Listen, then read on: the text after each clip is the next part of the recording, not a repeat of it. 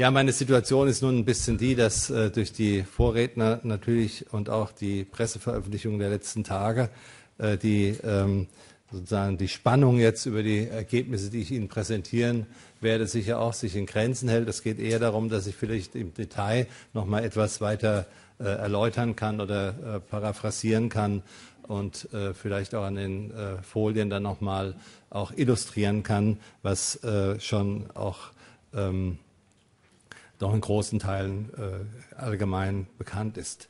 Vielleicht nochmal hier für Sie die Übersicht über die Autorengruppe, die leider heute nicht komplett anwesend sein kann, weil kurzfristig der Termin für diese Fachtagung verschoben werden musste und dadurch auch nicht alle sich den neuen Termin einrichten konnten. Aber was auch schon gesagt wurde und was ich nochmal betonen will, ist, äh, dass es äh, ein von allen, unter allen Autoren abgestimmter Bericht ist und wir ihn gemeinsam vertreten und dass ähm, auch ich nur der Primus inter pares bin und äh, von daher wir auch dann gemeinsam äh, auf Rückfragen dann antworten wäre. Vielleicht noch etwas zur Struktur des Bildungsberichts. Es wurde ja schon gesagt, dass es ein datengestützter Bericht ist. Insofern vielleicht zunächst der dritte Punkt. Es ist eben ein Bericht, der einen sogenannten Indikatorenansatz verfolgt, wie in etwa auch der, die Berichte der OECD verfolgen. Ansonsten ist es ein Bericht, der am Leitgedanken Bildung im Lebenslauf orientiert ist. Das ist, glaube ich, der Unterschied zu den anderen Bestandteilen des Monitoringskonzepts der KMK. Die beziehen sich dann nur auf den Schulbereich, während äh, der nationale Bildungsbericht sich gerade oder, oder, der Bildungsbericht für Deutschland, Entschuldigung, äh, sich gerade darauf bezieht, dass äh, Bildung im Lebenslauf äh, betrachtet wird und über alle Bildungsbereiche hinweg und, und dann eben auch nicht nur unter der systemischen Perspektive, nämlich unter der Betrachtung, was leistet das Bildungssystem für die Gesellschaft, sondern eben auch unter der individuellen Perspektive, was hat der Einzelne an Angeboten, an Möglichkeiten, seine individuellen Bildungsinteressen zu entfalten, inwieweit hat er gleiche Chancen bei der Verwirklichung seiner Bildungsvorstellungen. Es ist in der Tat so, dass wir uns äh, versuchen, äh, um äh, Empfehlungen ähm, ja, zurückhaltend zu sein im Hinblick auf Empfehlungen. Aber das ist auch ein, ein, Teil unseres Respekts gegenüber der Politik. Aber ich glaube, im privaten Gespräch, Herr Jungkamp, sind wir immer bereit, Ihnen auch diese Tipps zu geben. Aber es ist eben die Frage, ob man dann als Wissenschaftler oder als ähm, sozusagen informierter Mitbürger redet. Und ich glaube, diese Rollentrennung sollte man dann eben schon auch äh, einhalten. Und äh, darum sind wir, glaube ich, auch in der Autorengruppe insgesamt sehr bemüht. Wenn ich hier jetzt geschrieben habe, zentrale Ergebnisse, dann müsste man vielleicht auch sagen, ausgewählte Ergebnisse, die äh, mir jetzt vielleicht besonders wichtig erscheinen oder uns besonders wichtig erscheinen, Ihnen hier vorzuheben. Es wurde schon gesagt, dass es viele positive Entwicklungen gibt. Wir sehen das auch so. Äh, insbesondere im Vorschulbereich haben wir eben eine sehr stark ansteigende Bildungsbeteiligung. Es ist doch bemerkenswert, dass inzwischen schon die Zweijährigen in Ostdeutschland zu 80 Prozent äh, Bildungseinrichtungen, also Kinderkrippen und Kindertagespflegeeinrichtungen besuchen. In Westdeutschland ist äh, das Niveau etwa nur halb so hoch, aber wir merken an dem West-Ost-Vergleich, dass da sicher auch in Westdeutschland noch ein Ausbaubedarf und Ausbauinteresse existiert. Auch bei den Einjährigen haben wir äh, in den letzten Jahren stark steigende äh, Beteiligungsquoten. Von daher ist äh, die, der, sozusagen das entwickelte Ausbauniveau in diesem Bereich noch lange nicht erreicht. Und wir wissen ja auch, dass da noch Ausbauerfordernisse bestehen. Im Hinblick auf das Niveau der Schulabschlüsse ist vielleicht, sind vielleicht zwei Punkte besonders erwähnenswert. Gesagt wurde schon, dass die Schulabschlüsse steigen, dass inzwischen etwa, wenn man Fachhochschulreife und allgemeine Hochschulreife zusammennimmt, etwa die Hälfte des Altersjahrgangs eine Hochschulzugangsberechtigung erwirbt.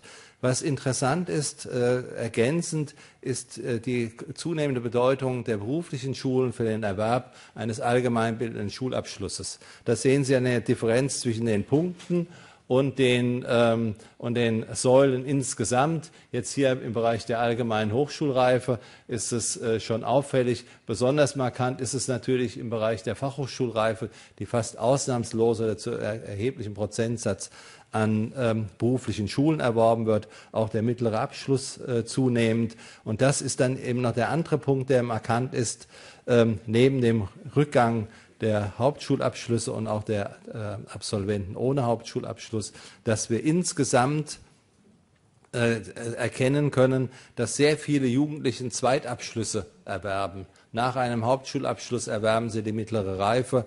Mit der mittleren Reife erwerben sie noch eine Hochschulzugangsberechtigung. Das heißt, äh, wenn Sie die Prozentsätze hier addieren, können Sie das sehr schön nachvollziehen, dass Sie auf weit über 100 Prozent kommen. Und diese sozusagen Zweitabschlüsse sind der zweite Punkt, der markant ist an der Entwicklung der Bildungsbeteiligung insgesamt. Natürlich ist ein Problem, dass hinter der sinkenden äh, Quote äh, von äh, Absolventen ohne Hauptschulabschluss einmal, dass dahinter diese Förderschulproblematik steckt, auf die Herr Jungenkamp hingewiesen hat. Zum anderen müssen wir natürlich sehen, dass nach wie vor 19 Prozent der 15-Jährigen in der PISA-Befragung unter eine Lesekompetenz unter Kompetenzstufe 2 haben, damit also auch große ähm, Sprachprobleme und äh, Texterfassungsprobleme. Und äh, das muss man natürlich in dem Zusammenhang auch noch sehen, dass quasi mit dem Anstieg der äh, Bildungsbeteiligung auch äh, sozusagen ein Anstieg der Kompetenzen verbunden sein muss. Man acht geben muss, dass da auch die, äh, die Diskrepanzen äh, nicht zunehmen. Was mir im Zusammenhang mit den steigenden Schulabschlüssen auch noch wichtig erscheint, und der Hinweis auf die PISA-Daten ist, dass diese Ausweitung der Gymnasialbesuchsquote in den letzten Jahren nicht dazu geführt hat, dass wir einen Rückgang des Leistungsniveaus am Gymnasium hatten. Das wird ja oft so kolportiert. Wir erhöhen immer stärker die Bildungsbeteiligung, aber die Leistungen lassen nach. Das lässt sich eben nicht äh, feststellen, sondern trotz gestiegener äh, Gymnasialbesuchsquote äh, äh, hat das Gymnasium äh, seine äh, Leistungsstandards weiterhin durchsetzen können. Und das haben wir auch schon in der längeren historischen Entwicklung eigentlich feststellen können. Und es gibt ja einige Leute, die deshalb auch gerade wegen dieser Leistung des Gymnasiums in einer besonderen Weise verteidigen. Die stark steigende Zahl der Studienanfänger ist äh, aus äh, unserer Sicht vor allem deshalb nochmal besonders zu betonen, weil sich andeutet, jetzt aufgrund der aktuellen Erhebungen des HIS bei den Studienberechtigten, dass äh, im Gegensatz zu der Entwicklung der letzten Jahre nicht äh, ein weiterer Rückgang der Studierquote sich abzeichnet, sondern ein deutlicher Anstieg. Das heißt, äh, wir haben jetzt im Grunde genommen einen doppelten Trend zunehmende ähm, Hochschulzugang, zunehmender Anteil von Hochschulzugangsberechtigten, unter diesen auch einen zunehmenden Anteil, der äh, in, ein Interesse hat, daran ein Studium aufzunehmen. Da die Studienaufnahme äh, oft stark verzögert, erst nach vier, fünf, sechs Jahren erfolgt, kann man hier noch keine endgültigen Zahlen angeben, aber sie äh, können anhand oder anhand der HIS-Erhebungen ist absehbar, dass hier eine Trendwende sich abzeichnet. Und was sicher auch ein erfreuliches Ergebnis ist, dass äh, die äh, Zahl der Hochschulabsolventen zwar in den letzten Jahren sehr stark angestiegen ist, dass es damit aber nicht verbunden ist, dass es Probleme gäbe, in äh, das äh, Beschäftigungssystem einzumünden und auch äh, ausbildungsadäquate Beschäftigung zu finden. Sie sehen bei den traditionellen Hochschulabsolventen dass wir nach äh, einem Dreivierteljahr etwa eine Einmündungsquote so nahe 80 Prozent haben. Bei den ähm, Hochschulabsolventen an Universitäten haben wir auch dann solche, die Zweitstudien oder Promotionsstudien anfangen. Wir wissen, jeder sechste Universitätsabsolvent ähm, erwirbt noch eine äh, Promotion. Also von daher haben wir da auch etwas unterschiedliche Entwicklungen zwischen Fachhochschulen und Universität. Aber bezogen auf traditionelle Abschlüsse haben wir keine Probleme. Äh, was erkennbar wird, ist, dass offensichtlich insbesondere der universitäre Bachelorabschluss als äh, Abschluss im Hinblick auf äh, den Übergang ins Beschäftigungssystem wohl doch in hohem Maße nicht als vollwertig angesehen wird, sondern ein Großteil dieser Absolventen ein anschließendes Masterstudium ab, äh, anstreben. Damit sind wir schon im Grunde genommen an einem Punkt, an dem sich so zeigt, es gibt viele Entwicklungen, die zwar positiv sind, aber mit einem Aber zu versehen sind. Herr Jungkamp hatte auch schon darauf hingewiesen, dass wir im Hinblick auf die Kinder, die in Risikolagen aufwachsen, äh, zwar einen Rückgang zu verzeichnen haben, aber diese Quote ist nach wie vor mit 29 Prozent ähm, aller Kinder unter 18 Jahren äh, sehr hoch. Sie ist zwischen Nicht-Migranten und Migranten auch extrem unterschiedlich. Jedes zweite Kind ohne Migrationshintergrund lebt äh, mit einer Risikolage. Von den Kindern mit einem Migrationshintergrund äh, ist es äh, jedes zweite Kind. Äh, also ohne Migrationshintergrund jedes fünfte und mit Migrationshintergrund jedes zweite Kind. Sie sehen auch hier in der Kartendarstellung, dass es große Unterschiede zwischen den Ländern gibt.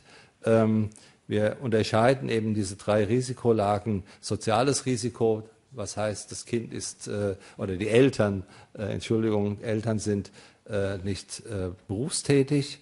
Äh, bildungsfernes Elternhaus bedeutet, dass ähm, äh, kein Elternteil ähm, wenigstens eine abgeschlossene Berufsausbildung hat und finanzielles Risiko ist diese Gruppe der Eltern, die ein Familienäquivalenzeinkommen unter 60 Prozent des Durchschnitts haben. Ähm, Sie sehen auch im Hinblick auf die Kombination der drei Risikolagen jetzt im Ländervergleich, dass es große Unterschiede gibt. In Süddeutschland die Situation insgesamt günstiger ist als äh, in, in, Norddeutschland, in den Stadtstaaten, ungünstiger als in den Flächenstaaten und von den Flächenstaaten in Nordrhein-Westfalen noch am ungünstigsten. Bezogen auf das Bildungsniveau von Migranten ist erstmal erfreulich, dass in der Gruppe der 30 bis 35-Jährigen sich das äh, Bildungsniveau erhöht. Das heißt, der Anteil derjenigen ohne allgemeinbildenden Abschluss oder ohne beruflichen Bildungsabschluss geht zurück. Bei Frauen etwas stärker als bei Männern. Sie sehen auch unterschiedliche Effekte bei äh, unterschiedlichen Nationalitäten. Ähm, aber insgesamt könnte der Effekt natürlich durchaus stärker sein. Und zum anderen, äh, wenn wir jetzt uns auf die Bildungsbeteiligung beziehen, dann müssen wir leider feststellen, dass äh, die Migranten insgesamt an der steigenden Bildungsbeteiligung partizipieren. Aber die Unterschiede in der Bildungsbeteiligung zwischen Kindern mit und ohne Migrationshintergrund, die verringern sich nicht. Und äh, da, das ist eben eine der Aufgaben, die in der nächsten Zeit auch zu bearbeiten bleibt. Äh, im Hinblick auf die Integration von Schülerinnen und äh, Schülern mit sonderpädagogischem Förderbedarf äh, können wir eine Verdopplung der Integrationsquote im letzten Jahrzehnt beobachten, aber nicht zu Lasten der Situation der Förderschulen, sondern es gibt nur zwei Länder, in denen also auch die Integration Folgen für das Förderschulangebot hat. In allen anderen Ländern hat man sozusagen den Zuwachs an den äh, sonderpädagogisch zu fördernden insgesamt vor allem dann über eine Ausweitung äh, der ähm, Integration äh, in allgemeine Schulen äh, erreicht. Und äh, das ist, glaube ich, äh, ein Punkt, an dem vermutlich in den nächsten Jahren auch gearbeitet werden muss, dass die sozusagen die Frage der sonderpädagogischen Förderung auch in die Stru Schulstrukturentwicklung mit einbezogen wird und nicht quasi als Sonderentwicklung äh, sich darstellt, wie sich das bisher, wie gesagt, bis auf wenige Länder, Schleswig-Holstein, Thüringen und so weiter, abzeichnet. Hier nochmal dieser Anstieg der sonderpädagogischen Förderung insgesamt von 5,3 auf 6,4 Prozent und eben auch äh, der Anteil, der in Sonderschulen ist, äh, ist von 4,6 auf 4,9 angestiegen, äh, ist also nicht zurückgegangen, trotz Ausweitung der Integrationsquoten. Bezogen auf die Studienanfängerquote, es wurde schon darauf hingewiesen, dass sie jetzt aufgrund verschiedener Effekte eben nicht nur äh, steigende Abiturientenzahl und steigende Abiturientenquote, sondern auch durch äh, G8, G9, dann eben auch äh, Wegfall der Wehrpflicht, äh, also durch verschiedene Entwicklungen äh, ist sie unerwartet stark angestiegen. Das hat aber auch die Folge, dass äh, die Referenzlinie des Hochschulpakts inzwischen bis 2015 in der Kumulation vermutlich 300.000 äh, Studienplätzen unter dem Bedarf äh, liegen wird und hier also verstärkte Ausbauanstrengungen notwendig sind. Diese ähm, hohen Bildungsausgaben, die wir äh, beobachten können, da muss man eben Acht geben, dass das nicht eine äh, temporäre äh, günstige Situation ist aufgrund der Sonderprogramme. Dieses hohe Niveau muss man eben auch in den nächsten Jahren stabilisieren, indem es entweder gelingt, neue Sonderprogramme äh, zu finden, die äh, diese Priorität für Bildung ermöglichen, oder indem man trotz Schuldenbremse und so weiter äh, dann sicherstellen kann, dass die Priorität für Bildung in gleichem Umfang erhalten bleibt. In der Tat, die Entwicklung der letzten Jahre muss man einfach als sehr erfreulich ansehen. Der äh, letzte Punkt, der unter dieser Rubrik äh, von mir angesprochen werden soll, ist die Zunahme privater Bildungseinrichtungen. Die ist insgesamt, glaube ich, eine erfreuliche Entwicklung, die auch eine zunehmende Pluralität des Bildungsangebots zum Ausdruck bringt. Sie sehen, dass äh, die Privatisierungsgrade in den einzelnen Bildungsbereichen extrem unterschiedlich sind. Im Kindergartenbereich sind es etwa zwei Drittel der Einrichtungen. Insgesamt äh, gehen etwa 20 Prozent, Entschuldigung, nicht der Einrichtungen, sondern der Teilnehmer, äh, insgesamt besuchen äh, knapp 20 Prozent aller Bildungsteilnehmer ähm, private Einrichtungen. Und äh, Sie sehen eben ergänzend zu dem Anstieg der Teilnehmerzahlen in allen äh, Bereichen des Bildungswesens auf der anderen Seite starke Rückgänge in, der, äh, in dem Besuch öffentlicher Einrichtungen.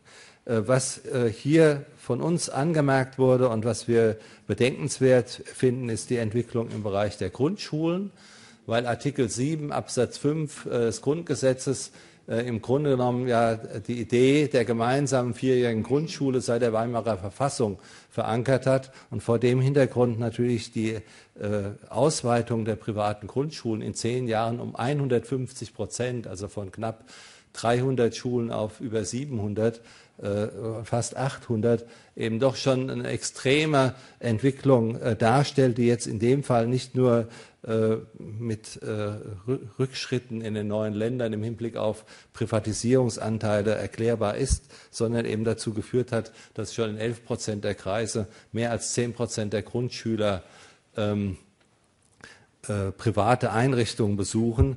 Das sind also dann über 40 Kreise in Deutschland, in denen das der Fall ist.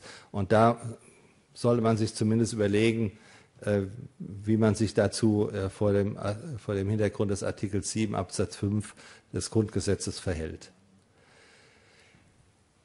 Unter den äh, fortbestehenden Herausforderungen äh, finden wir besonders erwähnenswert erstmals äh, erstens natürlich äh, die erhebliche Steigerung der Ausbaubemühungen für unter Dreijährige, die notwendig ist, um äh, den Betreuungsbedarf äh, bis zur Einführung des Rechtsanspruchs im August 2013 zu erfüllen. Wir haben in den letzten Jahren, in den letzten fünf Jahren einen Ausbau der Kinderkrippen und Tagespflegeplätzen äh, um etwa 190.000 gehabt. Man müsste noch mal etwa äh, 260.000 in den nächsten zwei Jahren zusätzlich schaffen, um das Ausbauziel äh, bis 2013 zu erreichen. Also das heißt, man muss äh, noch mal sozusagen innerhalb von zwei Jahren mehr als doppelt so viele Plätze schaffen, wie in den letzten fünf Jahren äh, eingerichtet wurden. Besonders ist noch darauf hinzuweisen, dass vermutlich die Annahme über den Ausbau der Tagespflege äh, völlig unrealistisch sind. Es ist äh, sehr unwahrscheinlich, dass hier äh, nahezu nochmal 90.000 zusätzliche Plätze in zwei, zwei, Jahren geschaffen werden können, sodass vermutlich der Krippenausbau noch über das geplante, den geplanten Umfang hinausgehen muss, wenn man tatsächlich, wie gesagt, das Ausbauziel für 2013 erreichen will. Die ähm, Situation der Lehrkräfte hat Herr Jungkamp auch schon kurz angesprochen. Ähm, ich sehe vor allem äh, im Hinblick auf den Lehrerersatzbedarf äh, das Problem, dass in den letzten zehn Jahren 15 Prozent mehr Lehrer eingestellt wurden, als die zweite Phase der äh, Ausbildung absolviert haben. Das heißt, wir haben oder die Kultusministerien haben auf die Altbewerber in starkem Maße zurückgreifen können, die in Zukunft vermutlich in dem Umfang nicht mehr zur Verfügung stehen, sodass daraus sich auch nochmal ein Zusatzbedarf ergibt, der ähm, auch in den äh, Berechnungen der, der, Kultusministerkonferenz meines Erachtens bisher nicht so berücksichtigt wurde. Und das andere Problem, was wir ja dann auch im Zusammenhang mit dem Schwerpunktthema nochmal haben werden, ist das der ähm, des fächerspezifischen Lehrerbedarfs. Und das scheint ja eher das zentrale Problem zu sein, äh, dass äh, wir nicht ausreichend, wir haben durchaus ausreichende Lehramtsstudierende. Es ist nur die Frage, ob sie die Fächer studieren, die dann tatsächlich in der Schule benötigt werden. Bezogen auf den Ausbildungsstellenmarkt muss man erstmal festhalten, was in der Diskussion ein bisschen äh, oft äh, vernachlässigt wird, dass es nach wie vor fast in allen Berufen einen Mangel an Ausbildungsplätzen gibt. Die Zahl der Ausbildungsplatzbewerber liegt deutlich über der Zahl der angebotenen Ausbildungsplätze, wenn man diese erweiterte Definition zugrunde legt, nämlich wirklich danach fragt, wer hat sich um einen Ausbildungsplatz beworben und hat keinen bekommen und nicht, wie in dieser äh, äh, ja, gesetzlich vorgeschriebenen Definition, nur die berücksichtigt, die wirklich am 30.09.2011 auf der Straße äh, saßen. Das ist im Grunde genommen die gesetzliche Definition. Wenn man eben diese realistische nimmt, wer tatsächlich nachgefragt hat, dann sehen Sie, es gibt nur die Bäcker, Konditoren, Fleischer, Köche und Hotel- und Gaststättenberufe. Das sind die drei Bereiche, in denen es einen Überhang an äh, Ausbildungsplätzen gibt. In allen anderen Branchen, gerade auch in den zukunftsorientierten Berufen, ist äh, zum Teil ein extremer Mangel an Ausbildungsplätzen noch äh, gegeben. Das heißt auch, dass die Entlastung, die sich in den letzten Jahren am äh, Ausbildungsmarkt ergeben hat, eher demografisch bedingt ist, als dass sie irgendwie politisch äh, sehr stark äh, induziert wurde. Sie sehen die Zahl der Ausbildungsplätze oder derjenige, der Ausbildungsanfänger ist, äh, nahezu konstant geblieben. Dasselbe äh, betrifft das äh, Schulberufssystem. Und was eben im Hinblick auf das Übergangssystem zu beobachten ist, ist, dass mit dem Rückgang wir natürlich eine Entwicklung dahin bekommen, dass die sogenannten marktbenachteiligten Jugendlichen, also diejenigen mit einem guten Hauptschulabschluss oder mit mittlerem Abschluss, die im Prinzip, wenn es ausreichende Ausbildungsplätze gäbe, ohne Probleme auch eine Ausbildung finden würden, dass die zunehmend weniger in der Gruppe sind, die in das Übergangssystem wechseln, sondern es wird sich sehr stark auf die Jugendlichen ohne Hauptschulabschluss und eben mit einem schlechten Hauptschulabschluss konzentrieren, sodass das eben eine zunehmend äh, ja sozusagen als Problemgruppe äh, sich äh, zunehmend äh, auf diesen Bereich der äh, Schulabsolventen konzentrieren. Und da wird man eben sich überlegen müssen, ob auch der pädagogische Zuschnitt dieses Programms, des Übergangssystems auf diese Gruppe sehr viel besser angepasst werden muss. Wir werden Jugendliche mit, äh, sehr viel stärker mit sonderpädagogischem Förderbedarf haben, die ja dann auch in der Gruppe sind. Wir werden auch sonstige haben mit Sprachdefiziten oder sonstigen äh, speziellen Fördernotwendigkeiten. Im Bereich der Weiterbildung kann man eigentlich nur sagen, es ist äh, absolut betrüblich, dass sich in dem Bereich nichts tut, aller, entgegen aller äh, politischen äh, äh Rhetorik, dass dieser Bereich ausgebaut werden muss und dass dort äh, eine Priorität in der Bildung äh, zu setzen ist. Sie sehen es hier an den Partizipationsquoten in der langen Zeitreihe. Es tut sich nichts und was sogar noch besonders bedenklich ist, dass sogar bei den Jungen, bei den 18 bis unter 35-Jährigen äh, sogar es nur einen Rückgang der äh, Weiterbildungsbeteiligung gibt. Also hier ist äh, einfach die Notwendigkeit, dass in dem Bereich politisch sich in den nächsten Jahren verstärkt was tut. Wenn man allgemeiner fragt, was sind denn jetzt die übergreifenden Ergebnisse oberhalb der Einzelbefunde, die ich dargestellt habe? Das eine ist in dieser Entwicklung äh, die sich gerade bei den Abschlüssen äh, deutlich zeigt, aber eben auch bei G8, G9, Halbtagsschule, Ganztagsschule, äh, Abschluss an Allgemeinbildenden, an beruflichen Schulen und so weiter. Wir haben zunehmend flexible Bildungsmöglichkeiten und um diese Bildungsmöglichkeiten zu nutzen, brauchen wir verstärkte Maßnahmen der Orientierung und Beratung. Herr Jungkamp hat das ja auch schon erfreulicherweise aufgegriffen. Das Zweite ist, was wir denken, was äh, ganz wichtig ist, dass eben mit dieser äh, Flexibilisierung der Bildungswege auch die Koordination zwischen den verschiedenen Bildungsbereichen, auch zwischen Bildung, Kultur, Soziales, anderen Bereichen verbessert werden muss und von daher eine stärkere Verschränkung nicht nur zwischen den einzelnen Stufen des Bildungssystems, sondern auch zwischen Bildungspolitik und anderen äh, Politikbereichen intensiviert werden muss. Und schließlich ähm, deutet sich das schon etwas an äh, mit der Entwicklung hin äh, zu einer, der Hälfte des Altersjahrgangs, die eine Hochschulzugangsberechtigung äh, erwerben, dass es fatal wäre, wenn in den nächsten Jahren ein Konflikt oder ein Spannungsverhältnis zwischen beruflicher Bildung und Hochschulbildung entstehen würde. Äh, das, davon würden die Jugendlichen nicht profitieren, sondern wir müssen sehen, dass wir eine Neujustierung äh, des Verhältnisses bekommen oder eine Neugestaltung der Schnittstelle zwischen Berufsbildung und Hochschulbildung, damit hier äh, Lösungen gefunden werden, die auch ähm, im Hinblick auf die Entwicklung des Arbeitskräftepotenzials in der Gesellschaft optimal sind. Damit will ich diesen Teil abschließen und komme zum Schluss noch äh, zu dem Schwerpunktthema, das ja nun das quer liegt zu dem äh, sonstigen Systematik äh, des Bildungsberichts auch hier eigenständig dargestellt werden muss. Wenn man dieses Schwerpunktthema betrachtet, ist zunächst zu sehen, dass es eben ein Thema ist, das äh, sehr zentral ist, weil es äh, die Persönlichkeit des Einzelnen äh, sehr stark unmittelbar tangiert, auch ein wichtiger Teil ist zur Persönlichkeitsentwicklung, aber eben auch ein wichtiges gesellschaftliches Bildungsfeld, weil dieser Bereich der kulturellen Bildung nicht nur für die Tradierung des kulturellen Erbes bedeutsam ist, sondern eben auch weil wir zunehmend ein äh, äh, kulturelles Arbeitsfeld haben. Man unterschätzt das. Inzwischen äh, ist die Kulturwirtschaft in Deutschland ein wichtigerer Wirtschaftszweig als die chemische Industrie.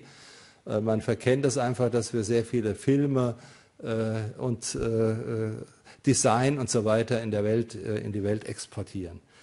Wie dem auch sei, wir können feststellen, zunächst im Hinblick auf kulturelle Bildung, dass dies auch ein äh, Anliegen ist, das in den Familien sehr breit verankert ist und dass alltagsintegriert schon äh, die Eltern mit ihren Kindern in erheblichem Umfang äh, verschiedene anbahnenden Maßnahmen ergreifen, um Kinder auch kulturell zu interessieren und auch sie mit kulturellen Phänomenen in Kontakt zu bringen.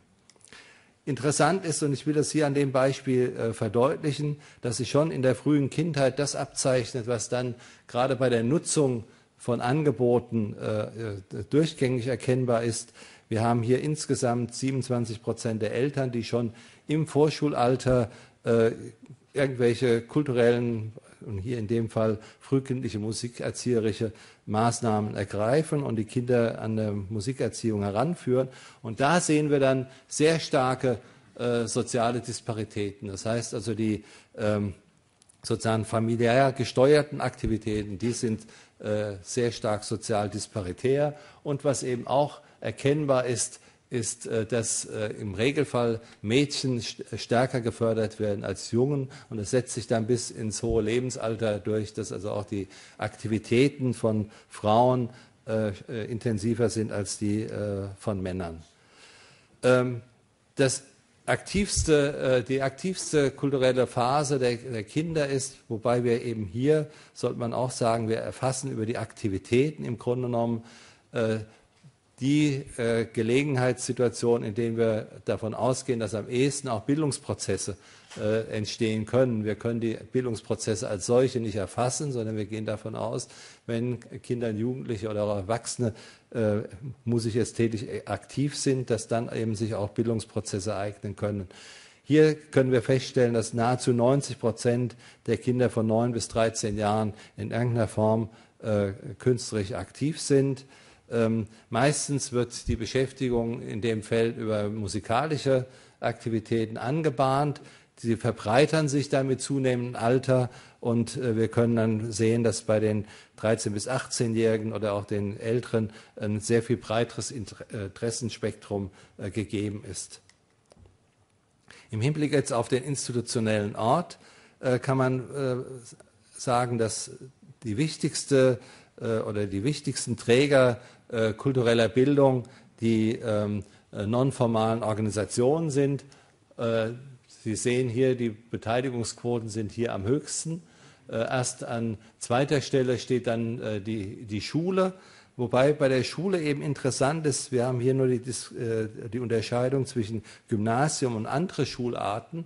Aber wenn man da auch nochmal von der sozialen Differenzierung der Schülerschaft ausgeht, was ja sicher nicht äh, äh, abwegig ist, dann stellt man fest, dass über die Schule im Grunde genommen alle gesellschaftlichen Gruppen von Schülern mit kulturellen Aktivitäten in Kontakt kommen, während eben sich hier bei den dann auch meist von den Eltern angeleiteten Aktivitäten in nonformalen Organisationen dann wieder diese schichtenspezifischen Unterschiede sozusagen latent hinter diesen Schulformunterschieden stehen.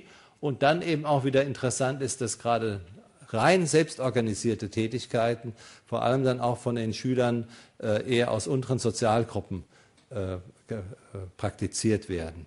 Das ist also auch ein Phänomen, was erkennbar ist, dass es hier im Hinblick auf Wahrnehmung nonformaler Einrichtungen und eben auf der anderen Seite eher informelle Aktivitäten auch nochmal einen deutlichen ähm, sozialgruppenspezifischen Unterschied gibt. Bezogen auf die Älteren oder vielleicht noch eine Vorbemerkung zu der Gruppe der, ähm, der älteren Jugendlichen, jungen Erwachsenen, der 18- bis 25-Jährigen. Da ist es auffällig, dass es kaum Unterschiede gibt danach, ob sie Schüler sind, Auszubildende, Studenten, äh, schon bereits Erwerbstätige. Diese Unterschiede, die sich da abzeichnen, sind relativ gering. Ein starker Rückgang der Aktivitäten zeigt sich dann im Erwachsenenalter. Äh, Sie können hier sehen vor allem auch, dass die eigenaktiven Formen im Verhältnis zu rezeptiven Formen deutlich an Gewicht verlieren. Wir haben aber auch hier im Grunde genommen bei den eigenaktiven Formen nicht so starke äh, äh, Bildungsdisparitäten, wie sie sich dann bei den rezeptiven Formen zeigen. Also auch hier im Erwachsenenalter zeigt sich das. Aber was eben nicht beobachtbar ist und was sich dann ins höhere Alter auch fortsetzt, dass eben mit zunehmendem Alter dann äh, wieder eigenaktive Formen an Bedeutung gewinnen. Ähm, das ist eben auch ein Problem, wenn man dann Rentner wird, dann hat man schon Arthrose in den Fingern, dann kann man nicht mehr so gut äh, Instrument spielen. Und, das, und die Sänger werden aus den Chören herausgeschmissen, weil man nur junge Frauen haben will. Und, äh, also da gibt es dann anscheinend wieder diverse Restriktionen, die äh, das äh, behindern, dass auch äh, im hohen Alter ähm, eigenaktive kulturelle Formen gepflegt werden. Aber was eben auch wichtig ist, rezeptive Formen haben eine ganz hohe Bedeutung und damit für die Kulturpflege und Erhalt äh, des kulturellen Lebens sind eben die Älteren sehr wichtig und jeder, der ins Konzert geht oder in eine Oper oder in eine Theateraufführung geht, wenn er nicht gerade eine Schulklasse trifft, dann sieht er eben ganz genau, wie bedeutsam gerade auch die älteren Altersgruppen äh, für die Pflege der Kultur sind. Ich will äh, auf die Frage der, der äh, schulischen Bildung vor allem noch mal näher eingehen, jetzt im Hinblick auf die Kooperationen. Da ist eben, oder insgesamt äh, bezogen auf die kulturelle Bildung, nochmal die Kooperation ansprechen. Da ist eben wirklich äh, bemerkenswert, dass in den letzten Jahren äh, das zeigt vor allem die Musikschulstatistik, weil sie eben als Statistik auch vorliegt, im Gegensatz zu anderen Bereichen, dass in den letzten Jahren da sehr große Anstrengungen unternommen worden im Hinblick auf, wurden im Hinblick auf eine verbesserte Kooperation zwischen Kindertageseinrichtungen und Musikschulen. Es sind inzwischen zehn Prozent der Kindergärten oder Kindertagesstätten oder genau genommen nochmal Kindertageseinrichtungen, die mit ähm, Musikschulen kooperieren. Äh, bei den Schulen der, liegt der Prozentsatz inzwischen sogar bei 20 Prozent. Äh, Sie sehen aber große Unterschiede zwischen den Ländern und äh, mir wurde gesagt, dass bei den Stadtstaaten das vor allem deshalb so niedrig ist, weil die eben nicht mit öffentlichen, sondern mit privaten Einrichtungen kooperieren und die deshalb in der Musikschulstatistik nicht erscheinen. Also das sind wieder so Spezialprobleme. Aber insgesamt ist das sehr erfreulich und ähm, der letzte Punkt, den ich ansprechen will, ist eben diese personelle Versorgung in dem Feld, dass man beobachten kann, dass eben auch durch die Ausbildungsrestriktionen, das heißt, man kann die Ausbildung in den künstlerischen Fächern nur machen, wenn man eine entsprechende Aufnahmeprüfung besteht. Das, äh, und diese Studiengänge sind auch sehr personalintensiv, damit auch relativ kostenintensiv. Dadurch haben wir, wenn man so will, eine strukturelle ähm, strukturelles Problem einer ausreichenden Versorgung für diesen, diesen Bereich. Insgesamt kann man feststellen, dass die Situation äh, für die bildende Kunst noch etwas günstiger ist als für die Musik. Aber wir müssen davon ausgehen, dass etwa sechs bis sieben Prozent des gesamten Unterrichts äh, in jedem dieser beiden äh, künstlerischen Unterrichtsfächern erteilt wird. Und das bedeutet im Prinzip, dass alle Musiklehrer in, in, Deutschland ihr komplettes äh, Unterrichtsdeputat in diesem Fach unterrichten müssten, um den, ähm, den Unterrichtsbedarf zu erfüllen. Wenn man jetzt noch weitergeht, was nämlich auch noch die Frage ist, sind die Lehrer grundständig ausgebildet oder sind sie durch irgendwelche Zusatzqualifikationen ausgebildet worden, also drittes Unterrichtsfach oder äh, berufsbegleitende Fortbildungsmaßnahmen, dann kann man hier sehen, das ist der Anteil derjenigen, die Lehramtsprüfungen in künstlerischen Fächern in den letzten neun Jahren abgelegt haben. Das sind etwa vier Prozent. Man kann davon ausgehen, in der Vergangenheit waren die Ausbildungskapazitäten ähnlich, sodass äh, hier nochmal an der Diskrepanz auch erkennbar ist, dass in erheblichem Umfang diejenigen, die in Schulen unterrichten, äh, auch äh, gerade im Bereich der bildenden Kunst gar keine grundständige Ausbildung in diesem Fach erworben haben, sondern äh, das als Drittfach studiert haben oder eine berufsbegleitende Qualifizierung äh, erworben haben. Zusammenfassend äh, zu diesem Bereich Nonformale Einrichtungen sind für die künstlerisch-ästhetischen Erfahrungen äh, von größerer Bedeutung als äh, die Bildungseinrichtungen im engeren Sinne. Jugendliche und Erwachsene und gerade eben auch Jugendliche aus unteren Sozialgruppen äh, verwirklichen ihre künstlerischen Interessen überwiegend informell. Neue Medien sind zunehmend bedeutsam auch für die künstlerisch-ästhetische Beschäftigung. Die Aufgabe der Bildungseinrichtungen liegt, glaube ich, vor allem darin, dass sie äh, grundlegende künstliche ästhetische Erfahrungen für alle Kinder und Jugendlichen äh, und zwar auch strukturiert äh, vermitteln müssen. Und äh, da ist eben gerade auch die Aufgabe der Bildungseinrichtungen, dass sie alle Kinder erreichen, dass sie auch die, Gruppe errei die Gruppen erreichen, wo die Eltern selbst äh, sich nicht um eine entsprechende Förderung der Kinder bemühen. Da ist ein bisschen das Problem, dass die Unterrichtsbedingungen für diese Fächer äh, sich nach Schulart stark unterscheiden und gerade dann in Hauptschulen, Förderschulen, wo eben gerade auch Kinder unterer Sozialgruppen eher äh, vertreten sind, dann auch meistens die Ausstattungsbedingungen, die äh, Professionalität der, des Unterrichts und so weiter eher auch Mängel aufweist, als es dann etwa in Gymnasien der Fall ist. Wir haben äh, gute Voraussetzungen für den Unterricht in Ganztagsschulen besser als in Halbtagsschulen. Und äh, ich habe schon darauf hingewiesen, wir haben ein zunehmendes Ausmaß an Kooperationen, und zwar auch an Kooperationen mit kulturellen Einrichtungen, sprich mit Theatern, mit äh, Opernhäusern, mit Orchestern und so weiter, die dann ihrerseits auf die Schulen zukommen. Und jede achte Schule kann äh, inzwischen auf solche äh, Kooperationen und Zusammenarbeiten verweisen.